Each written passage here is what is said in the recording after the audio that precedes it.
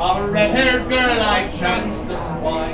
I was the first my young lady, my donkey he will carry through. Well, see as how you have it, monkey, to the Dingle Fair I'll ride with you. Now when we reached the town of Dingle, I took her hand to say goodbye.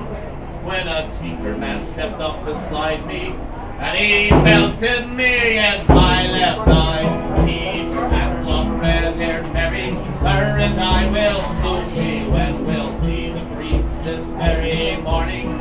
Tonight we'll lie in a merry bed. Now I was feeling kind of peevish, and me poor old I was sad and sore.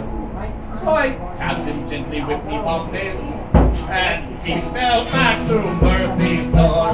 Keep your hands off red-haired Mary, her and I will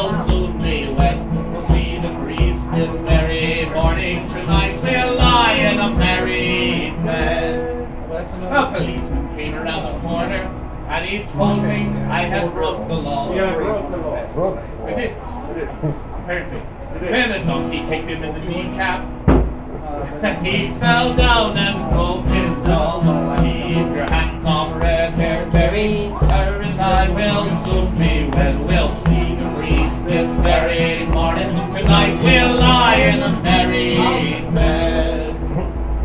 Well, then he went off to find his brother, the biggest man you ever did meet. And he gently tapped me with his knuckles. And I was minus two front teeth. Keep your hands off red-haired Mary. Her and I will soon be wed. We'll see the priest this very morning. Tonight we'll lie in a bed.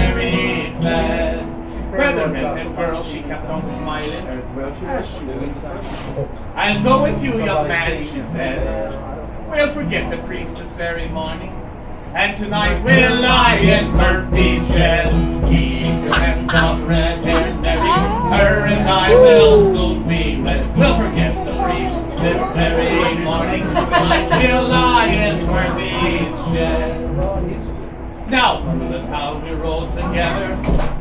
My black eye and her red hair. Smiling gaily at the tinkers. And because we were